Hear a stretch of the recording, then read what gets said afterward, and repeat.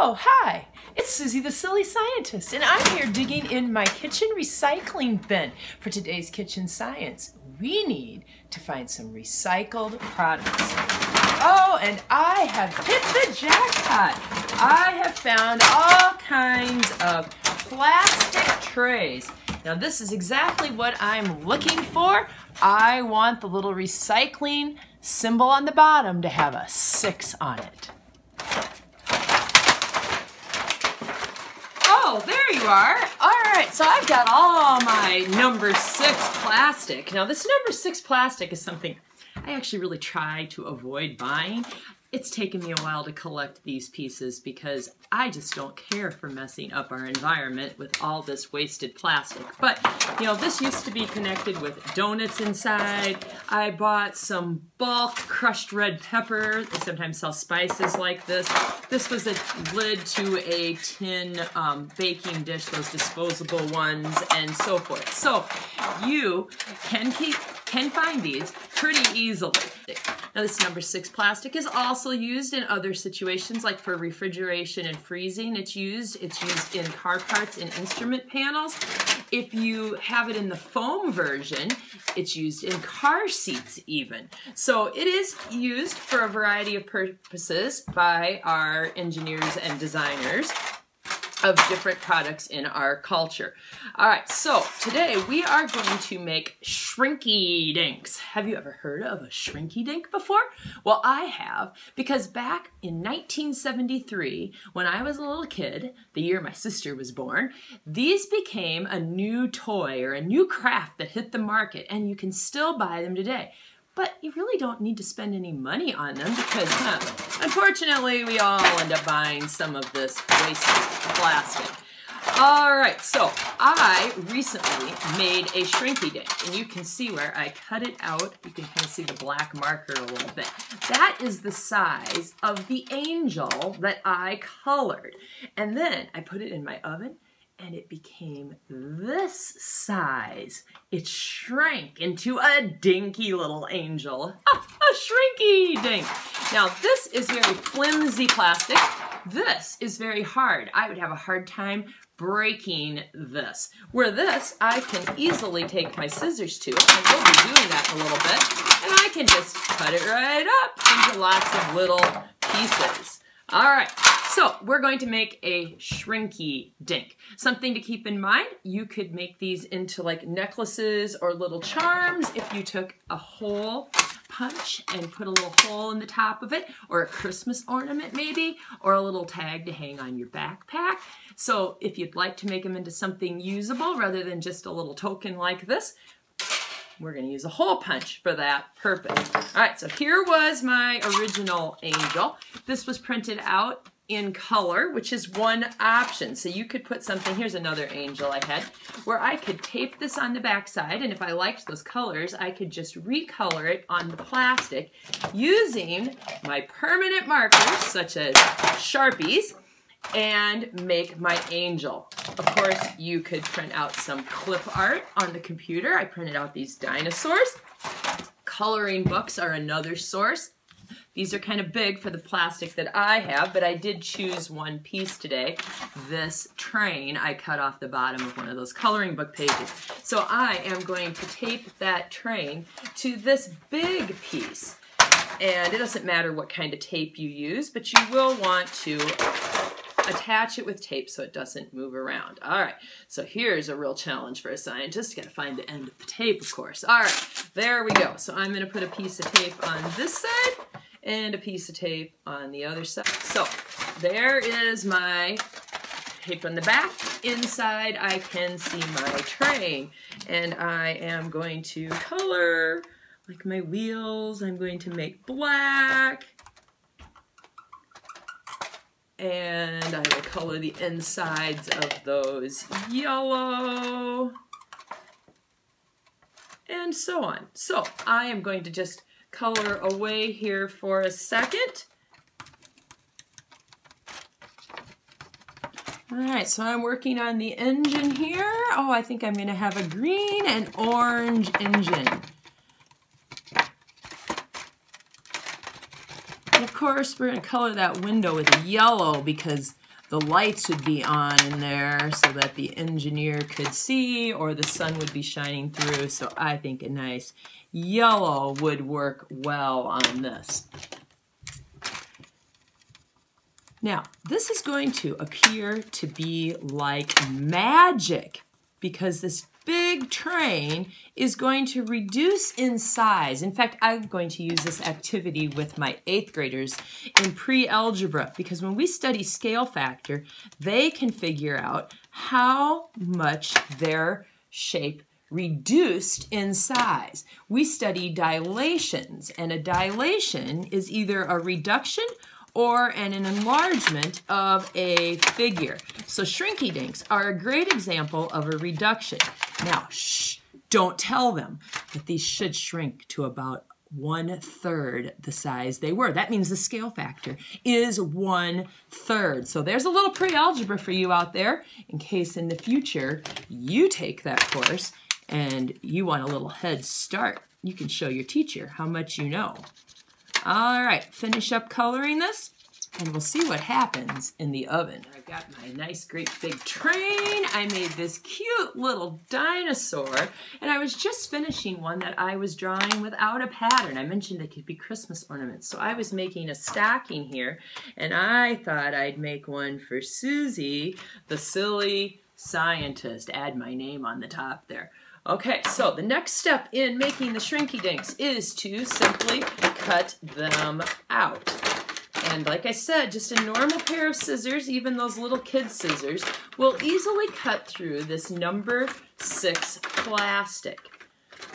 All right, so there is my Christmas stocking, and I want this to be a Christmas ornament. So I'm going to take my hole punch and put a little hole on the top so I can put a string or a ribbon in there. So I'm just going to finish cutting out all of my designs. I'm going to just take that paper off and get it out of the way as I trim around my dinosaur with all his little scales. Now how are we going to take this flimsy big plastic and turn it into these strong, small, shapes, these shrinky dinks. Well, I hate to spoil it, but it's really not magic. It's science. Now, manufacturing engineers have realized that this polystyrene, which is what this number six plastic is really called, is made up of many monomers that are found naturally in strawberries, cinnamon, coffee, beef, lots of products that we are familiar with.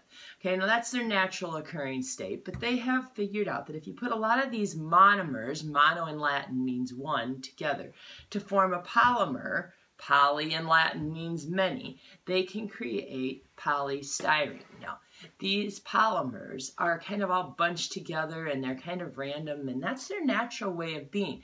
But they have decided in science that if they're heated, and then rolled out and cooled, they can help keep them in a form like this. Now what we're going to do is reverse that process. These polymers want to go back to their natural state and all we have to do is apply a little heat to plastic number six, polystyrene, and we can turn our little sheets of plastic into a shrinky dink. Let's go check out what happens in the oven. Now, anytime we do kitchen science, we have to be sure we don't ruin our family's kitchen. So today, you either need some parchment paper or some tin foil so that mom's cooking sheet doesn't get ruined. So I'm going to use parchment paper today because I think it'll be a little easier to see what's going on in our oven. Onto the cookie sheet goes my parchment paper.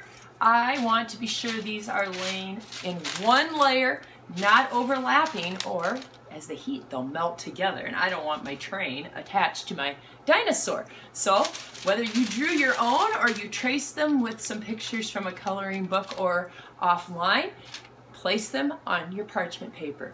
They're gonna go into our 350 degree preheated, be sure it's already hot, oven for roughly two minutes, no more than three minutes. And we'll see if we can get a video of what's happening in the oven. All right, now I would not suggest opening your oven while you're doing this because you want to maintain that 350 degrees and I'm letting out a lot of heat. But I want you to see how my shrinky dinks are just rolling up. They look disastrous. Oh no, I'm not sure the shrinky dink magic is working. Ooh, I don't know about that stocking. We'll see how it turns out. Now that's the thing about science. It doesn't always go right the first time. In fact, all of our inventions come about from redoing and experimenting over and over again. That's what scientists are known for doing. So here's our first one. I'm thinking maybe that wasn't a number six plastic because it didn't want to shrink and it didn't turn clear like the backgrounds of these. So I just remade them. The train turned out great the first time, but it was made from a different piece than the others. Finally, I'd like to talk to you about how scientists, real scientists, are using this idea of shrinky dinks. They're using it in nanotechnology. Nanotechnology. Well, let's look at that word, nano. Nano, in Latin again, means one billionth. If I was to take my meter stick and cut it into a billion parts, oh my, they would be very, very, very small not even microscopic small, even smaller than that. A billionth of this would be a nanometer.